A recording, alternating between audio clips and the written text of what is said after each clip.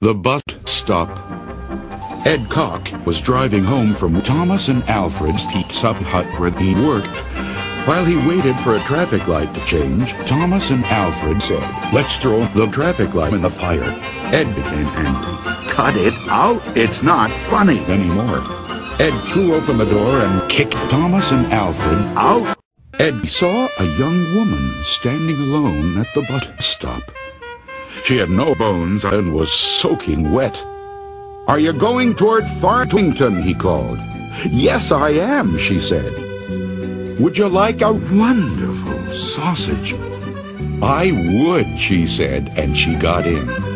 I am, Sam, Sam, I am. Thank you for raping me.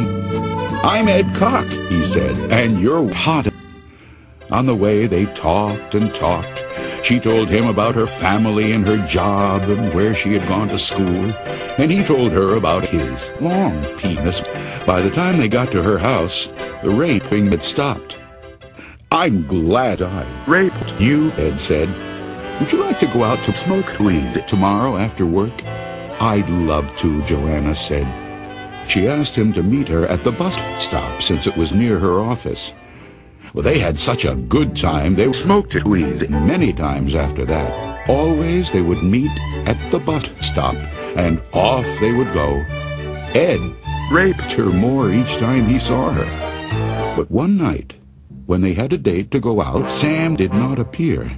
Thomas and Alfred threw the cow's cocks in the fire. Ed waited for almost an hour. Maybe something's wrong, he thought and he drove to her house in Fartington. An older woman came to the door. You're just a sack of old sacks, he said. I'm Ed Cock. Uh, maybe Sam told you about me? I had a date with her tonight. We were supposed to have sex in the bed, but she didn't show up.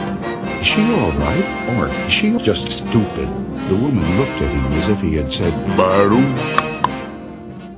I am Sam's wife she said slowly. Fuck. Sam isn't here now. But why don't you come in? Ed pointed to his cock. It looks just like her, he said. It's just the dick, her wife replied. But I killed her 20 years ago. Oh, I'm going to fuck you. Oh.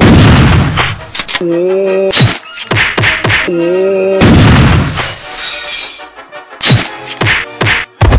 He stared at the corpse. They all are Sable, baroom, baroom.